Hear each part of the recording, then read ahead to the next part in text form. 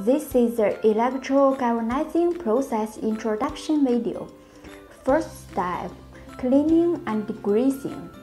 Step 2, electroplating treatment. Step 3, passing through water 3 times. Step 4, passivation. Step 5, cleaning 6 times. Step 6, below of confining liquid, and then finished. This is the whole process.